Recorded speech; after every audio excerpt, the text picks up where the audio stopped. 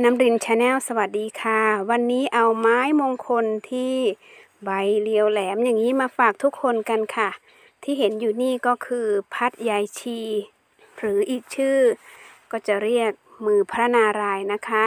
ก็มีหลายคนเรียกแตกต่างกันไปค่ะในแต่ละที่นะคะ บางทีก็จะเรียกพัดนางชีก็มีค่ะ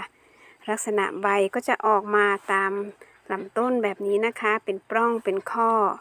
ที่เห็นอยู่นี่กำลังแตกหน่อออกมาเลยนะคะ ก็จะเป็นพืชที่ปลูกคลุมดินเลื้อยไปตามดิน แล้วก็เพิ่มความชุ่มชื่นให้กับหน้าดินของเราค่ะ ปลูกในกระถางก็สวยงามทีเดียว พัดยายชีหรือว่าพัดนางชี หรือว่ามือพระนารายณ์นะคะ จะออกดอกเป็นช่อสีขาว เป็นกระจุกเล็กๆ น่ารักทีเดียวค่ะ เป็นไม้มงคลที่มีความเชื่อว่า หากปลูกไว้ในบ้านแล้วก็จะช่วยปัดเป่าความชั่วร้าย สิ่งอัปมงคลสิ่งไม่ดีออกไปนะคะ แล้วก็พัดสิ่งที่ดีๆ มาสู่บ้านเรือนมาสู่ผู้ปลูกค่ะพัดยาชีนั้นยังเป็นสมุนไพรที่สามารถนำมาต้มน้ำดื่ม เพื่อช่วยให้ขับถ่ายระบายได้ดีอีกด้วยนะคะ เป็นทั้งไม้มงคล เป็นทั้งไม้ฟอกอากาศ ปลูกคุมดินเพิ่มความชุ่มชื่นให้กับดินในบ้านเราค่ะ เป็นไม้ดินเย็นนะคะ เหมาะสำหรับมาปลูกไว้ในบ้านทีเดียวค่ะ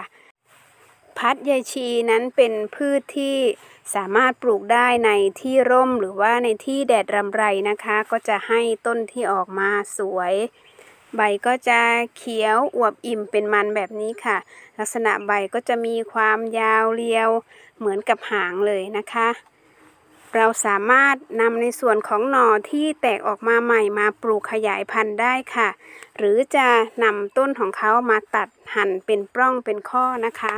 นำมาปักชำได้ในส่วนของยอดก็สามารถปักชำได้เช่นกันค่ะ เราใช้ดินที่มีความร่วนซุยระบายน้ำได้ดีในการปลูกพัดใยชีนะคะ เพื่อให้เขาแตกรากแล้วก็รากเดินได้สะดวกค่ะ การรดน้ำก็เป็นไม้ที่ชอบน้ำปานกลางนะคะ จากที่แม่นางเลี้ยงไว้นะคะ ก็รดน้ำให้เขาแทบจะสองสามวันรดทีหนึ่งเลยนะคะ จะไม่ให้แฉะจนเกินไปค่ะ เราดูลักษณะดินให้เขามีความชุ่มชื่นอยู่เสมอ ไม่ต้องให้แห้งเกินไปหรือว่าแฉะเกินไปนะคะ เก็บไว้ในที่ร่มหรือว่าแดดรำไรก็จะให้ต้นที่เขียวสวยทีเดียวเลยค่ะ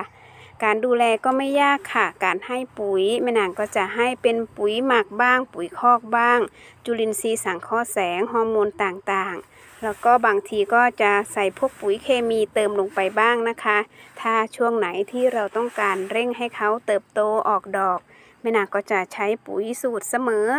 อาจจะเป็นสูตร 16 16 16 หรือ 15 15 15 ในการใส่นะคะ วันนี้เรามาปลูกพัดใหญ่ฉี่ด้วยกันค่ะ อันนี้แม่นางตัดกิ่งชำนะคะออกมาค่ะเนี่ยค่ะ ตัดออกมายอดหนึ่งเดี๋ยวจะเอาไปปักชำให้เพื่อนๆได้ดูกันนะคะ ได้มาแบบนี้ก็สามารถปักชำได้เช่นกันค่ะ ในส่วนของหน่อที่แยกออกมา อันนั้นก็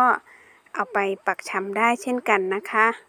เขาจะมีหน่อที่มีต้นที่เลื้อยออกมา แล้วก็แตกหน่อแตกยอดออกมา เราดึงออกมาแบบนี้ แล้วก็เอาไปปลูกขยายได้นะคะเนี่ยค่ะ เราเตรียมดินไว้เป็นดินหมัก ผสมกับพวกแกลบใบไม้หมักทิ้งเอาไว้ จนเป็นสีดำแบบนี้เลยนะคะ ผสมปูนขาวโดโลไมต์สักเล็กน้อย เพื่อป้องกันไม่ให้พืชของเรานั้นเน่าอันเกิดจาก พวกเชื้อรานะคะเนี่ยค่ะ ก็แค่เอาลงไปนะคะ แล้วก็บีบบีบกดกดสักเล็กน้อยค่ะ อันนี้ดินมีความชุ่มอยู่แล้วนะคะเนี่ยค่ะ ก็จะกดลงไปได้ง่าย แล้วก็แม่นางก็จะเติมดินลงไปสักนิดนึงค่ะ แล้วก็โรยหน้าของเขาด้วยกาบมะพร้าวสับนะคะ กับพวกแกลบแล้วก็มีใบไม้หมักเนี่ยค่ะ ผสมลงไปเพิ่มความชุ่มชื่นให้กับหน้าดิน ให้ดินของเรามีความร่วนซุยค่ะ เสร็จแล้วเราก็รดน้ำปกติค่ะ ปลูกใหม่ๆ เราอาจจะรดน้ำนะให้มีความชุ่มนะคะ